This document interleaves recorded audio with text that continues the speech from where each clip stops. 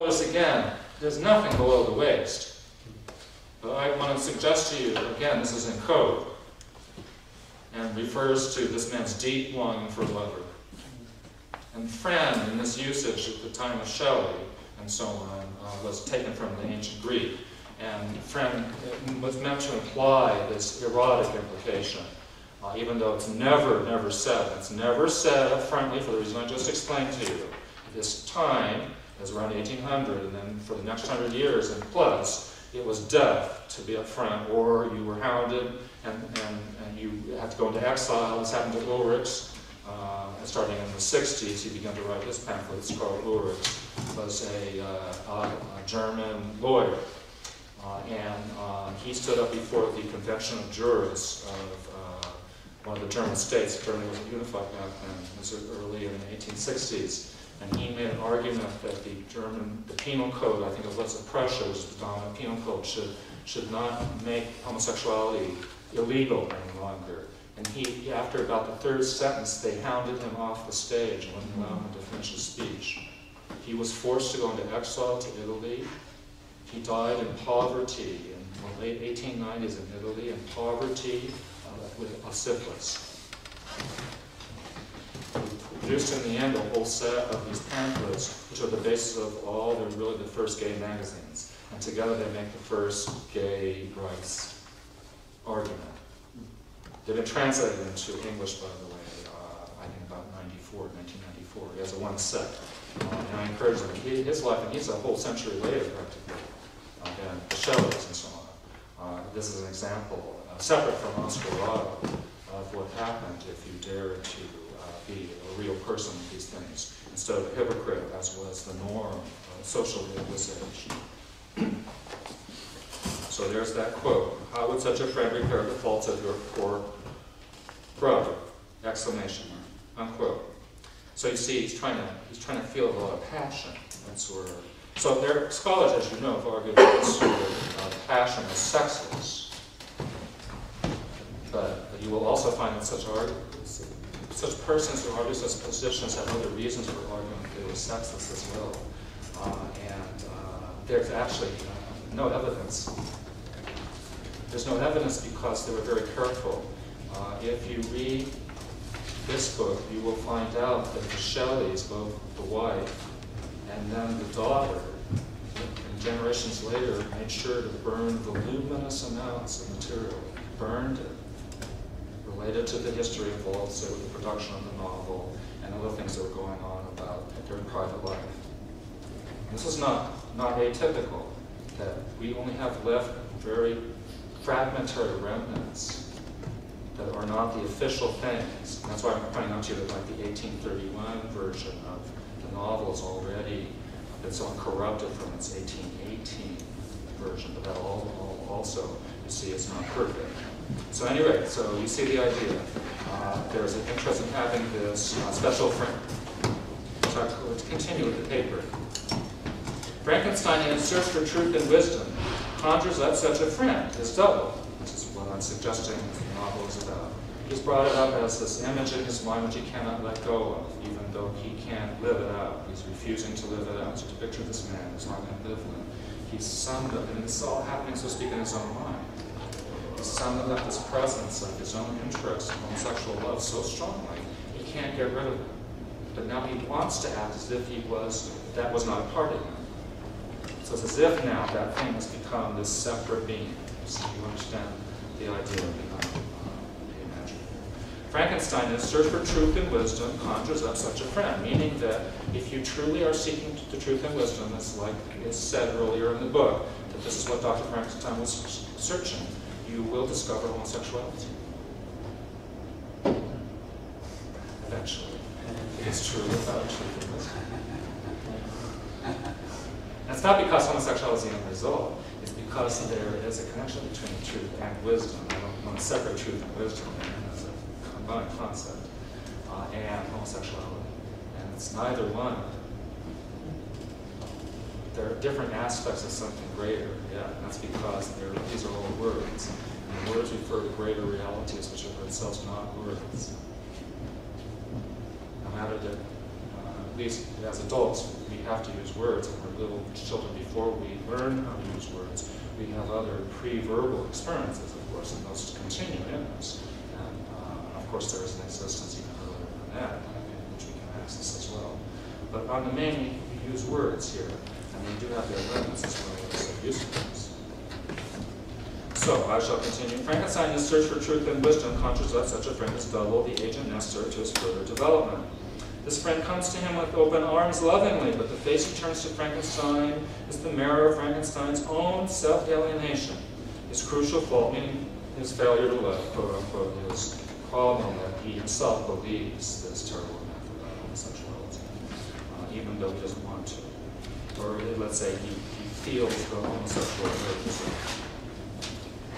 His failure is too deep, too painful for Frankenstein to face. He flees in terror, which will become a very common trope you see later on in sexual pain. We just seen in the court. That kid who was just uh, tried for the murder of that other kid in my mm-hmm. school, and the jury was hung.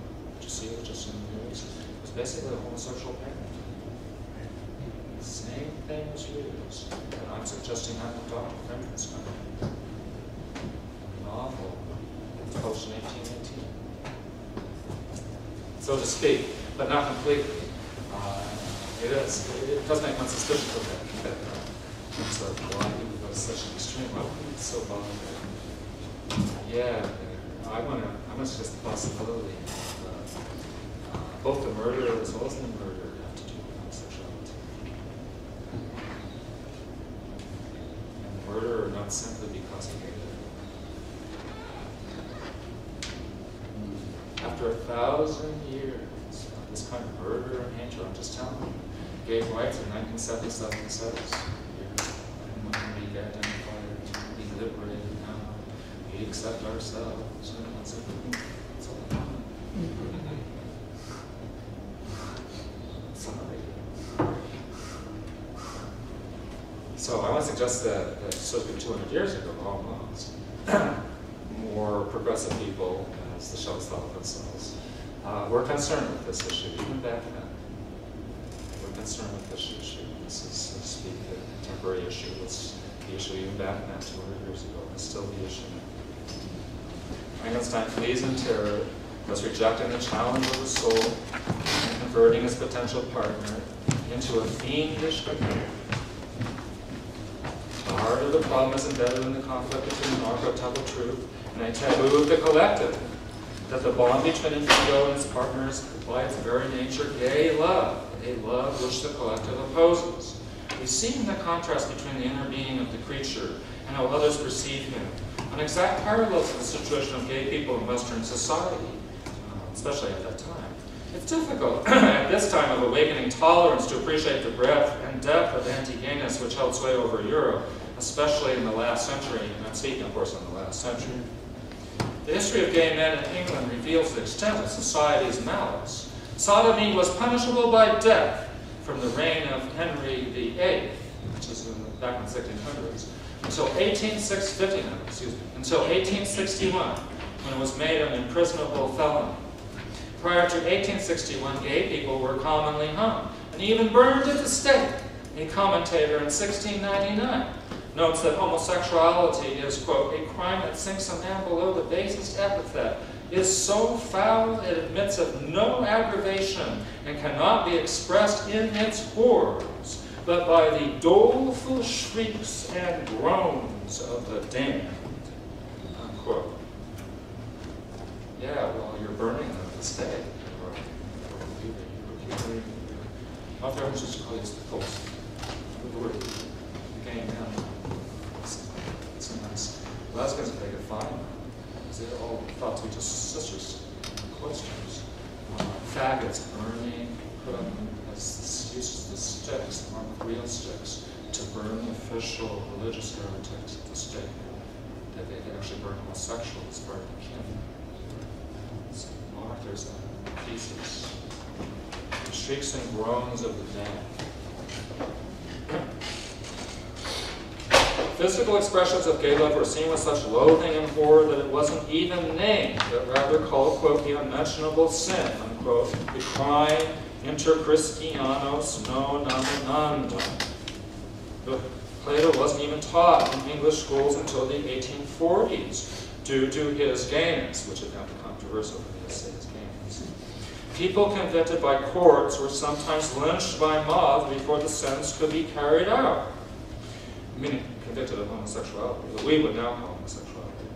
In 1810, eight years before Frankenstein was published, the landlord and five others of a male brothel in London were sentenced to prison before which they had to stand one hour in the pillory, which is a kind of place where they detach you in public, and the public would stand and watch you. During this time, they were mercilessly pelted with brickbats, dead cats, rotten eggs, potatoes, mud, and buckets filled with blood, offal, and dung. A contemporary account describes the victim's journey by car through the streets of the city. Quote. Go back to 1810 in the streets of London. Quote, it is impossible for language to convey an adequate idea of the universal expressions of execration which accompanied these monsters on their journey. Before the cart reached Temple Bar, where they were going to be strung up, the wretches were so thickly covered with mud that a vestige of the human figure was barely discernible. Some of them were cut in the head with brickbats and bled profusely. The streets as they passed resounded with the universal shouts and execrations of the populace, unquote, which you can picture turned out in large numbers. But for this gross parade, might we not see in this account Frankenstein's creature so covered with mud that nobody could even see, quote, the human figure, unquote? And perhaps the most revealing statement in Frankenstein, the creature pleads for acceptance from a blind man. He says of people that, quote, unfortunately they are prejudiced against me. I have good dispositions. My life has been hitherto harmless and in some degree beneficial. But a fatal prejudice clouds their eyes, and when they ought to see a feeling and kind friend, they behold only a detestable monster, unquote. These same words could easily have been spoken by Oscar Wilde, who at his trial in 1892 defined, quote, the love that dare not speak its name as, quote, that deep spiritual affection that is as pure as it is perfect. It is in this century misunderstood, so much misunderstood that it may be described as, in quote, the love that dare not speak its name, end quote. And on account of it, I am placed where I am now. It is beautiful, it is fine, it is the noblest form of affection. There is nothing unnatural about it. Unquote. This was in contrast to the universal, hysterical loathing that accompanied the Wilde trials and broke the artist's life as well as his creativity. I might add that even today, gay people are still often seen as monsters and brutally punished. I believe that Frankenstein was written in reaction to the, quote, progress, unquote, of science, technology, and industrialism. With deep and probably unconscious insight, Shelley showed that the men who created such pro progress were incapable of taking responsibility for their creations, because these creations were manifestations of that hidden universal energy which in humans formed the deeper psyche, the soul spirit, a spirit estranged from men's egos. This estrangement was a continuing problem in Western society, which has manifested itself in the oppression of gay people among many other forms. Through ignorance, people opposed the soul twin with its homosexual eros, and rather than accept the challenge which such an attitude brought, they fled from it and condemned it.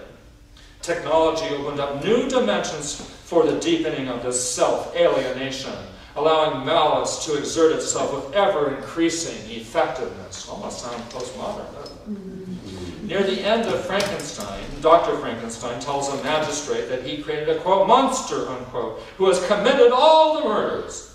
But the magistrate thinks that Dr. Frankenstein has merely become delirious with grief. To which the good doctor responds, Man, I cried, how ignorant art thou in thy pride. Cease, you know not what it is you say, unquote. Ignorance is the real criminal in this tale. And because of it, a man in search of enlightenment instead condemns himself to destruction.